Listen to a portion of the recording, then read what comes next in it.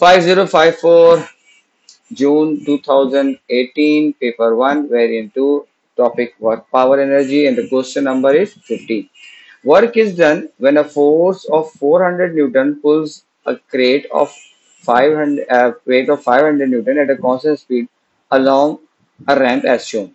So here is the ramp and the way in the box which is having 500 newton is being pulled up throughout the ramp and gain a height of 3 meter.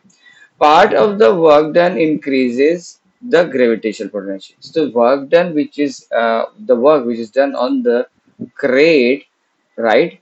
It's converted into gravitational potential energy and and the rest is work done W so, so work done W against the friction. So here W is the work done against the friction and E is the gravitational potential energy which is gained due to the work done on the box to uh, move uh, a, a distance of 5 meter and it is gained a height of 3 meter.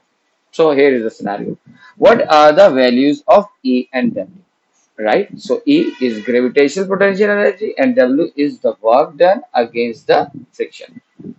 So first thing first, the total work done, right, being by uh, work done on the uh, on the crate is equals to the energy gain as a potential energy plus the work done against the friction. So the total work done is converted into gravitational potential energy and the work against the friction. So first thing first, gravitational potential energy, which is E in this case is mg. mg is the weight, means 500, and h is the perpendicular distance. Distance height, gain height is 3. So 500 into 3 it is 1500 joule is the gravitational potential. So C and D is our wrong choice. Now the total work done. First, find out the total work done. Total work done is F into S means force applied on the uh, crate and the displacement which is 5, meter, 5 meter. So 400 times 5 is 2000 joule is the total work done. 2000 joule is the total work done. So the work done against the friction should be 2000 minus gravitational potential energy. So work done which is 2000 minus gravitational potential energy which is 1500. So the work done against the friction is 500 So what happened in the exam? The student any in, in the students thought that uh, they, they actually misunderstood the question and uh, they clicked on B as their choice which is wrong. Why? Why? Because the 2000 is the total work done. And the, and W they are asked is actually the gravity the work done which is against the friction right?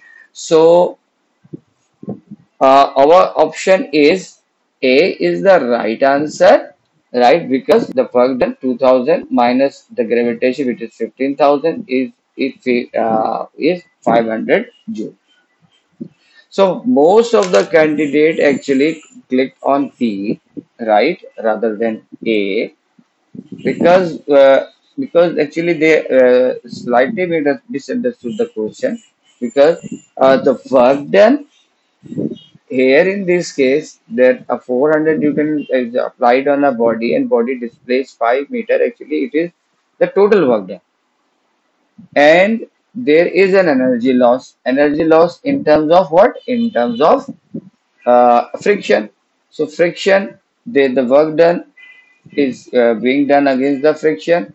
So the total work done is not converting into gravitational potential energy. It is also being used as the work against the friction. So so this is the case was in this uh, question and uh, this question not seem to be a tough one, but uh, most of or many of the students did mistake in it.